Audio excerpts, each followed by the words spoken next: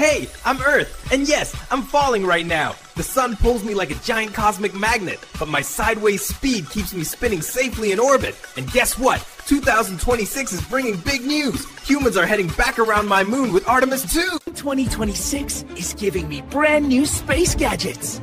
Chang'e 7 will explore the moon's icy dark craters. Pandora will study atmospheres of faraway planets. And the giant Xuntian telescope will take the cleanest pictures of space I've ever seen. Sky is about to glow. The Hera mission will check on two asteroids to keep you safe. AI powered spacecraft will fly smarter than ever. And meteor showers? Oh, yes. 2026 will light up your nights like cosmic fireworks. Get ready, traveler! A whole new space era is beginning. More missions, more discoveries, and more secrets of the universe are coming your way. Stick with me and follow Spacy Spice. I've got tons of cosmic surprises to share.